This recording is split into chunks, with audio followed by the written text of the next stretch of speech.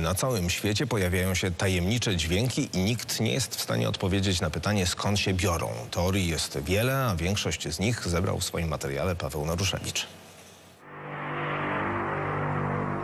Można by uznać, że to internetowy żart, gdyby nie fakt, że zjawisko jest globalne. To ten Kijów to zapoczątkował wszystko. I Pierwsze nagrania pochodzą z sierpnia ubiegłego roku z Kijowa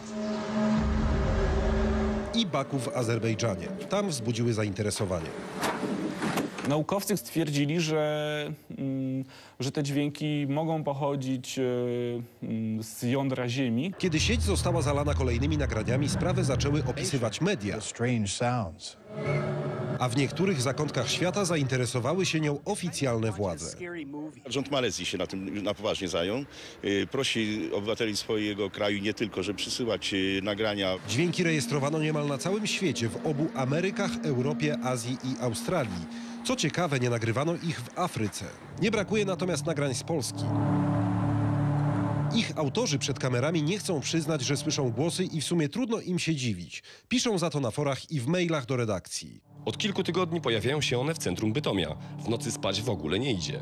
Duży procent filmików na YouTubie to ściema, ale jestem pewna, że to, co słyszałam, nie pochodziło od zwykłego samolotu i było niestandardowe. W sieci mnożą się teorie. Jedni podejrzewają początek przebiegunowania Ziemi, inni słyszą tu dźwięk apokaliptycznych trąb. Naukowcy ostrożnie wiążą zjawisko z dużą aktywnością Słońca, które bombarduje Ziemię cząsteczkami i energią. Niektórzy ludzie twierdzili, że podczas zórz polarnych, wtedy mamy burzę mm, geometryczną na Ziemi, słychać jakieś dźwięki, ale to też nie jest potwierdzone e, w żaden sposób naukowo. Zdarza się, że podobne dźwięki pojawiają się przy okazji dużych i płytkich trzęsień Ziemi.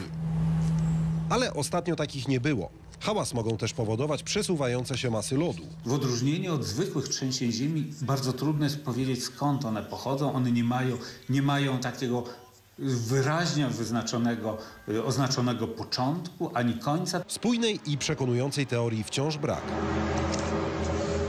A pytania wciąż rozbrzmiewają.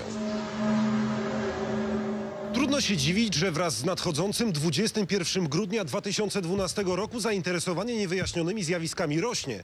Kiedy nauka nie zna odpowiedzi, do głosu dochodzi wyobraźnia, a ta każdemu podpowiada co innego. Dla wydarzeń Paweł Naruszewicz, Polsat News.